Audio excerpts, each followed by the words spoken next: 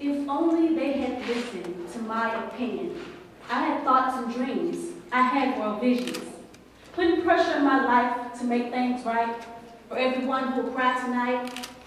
The world is not sober. Danger lurking around every corner. Waiting for the sun to go down, the stars to come out. If only they had listened to the two million people who are abused every day. Nobody cared about the words they had to say.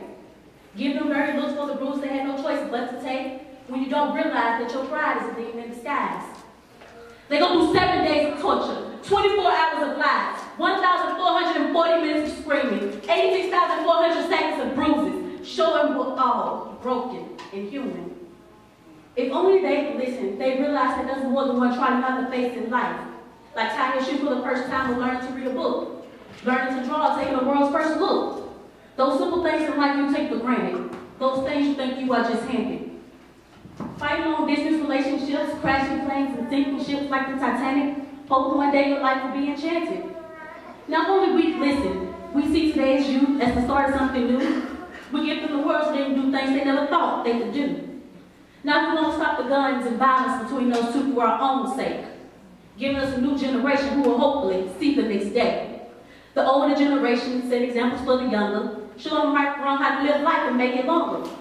The American dream can be so deceptive, it changes lives and makes us wonder, will we see through night slumber? But this generation keeps finding new ways to be dumber and dumber until slowly the human race finally dies out. Now, if only I would listen, I would see that I'm blessed. I came out the womb able to the heart beating in my chest. The sound of birds chirping, going to school, skipping the class. Sometimes I have to fight for my right in order to see the next night. If only I can remember that life is a blessing, a gift from God in the heavenly sky. Not only you would listen, you will see that so far you're winning.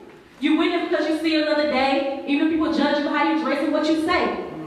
Even though you go through trouble, suffocating, slowly breaking, piece by piece until you're disintegrating. You want to be regenerated and perspirate to see another day. Now, if you just open your eyes and realize that you're still alive and you survive. Yeah.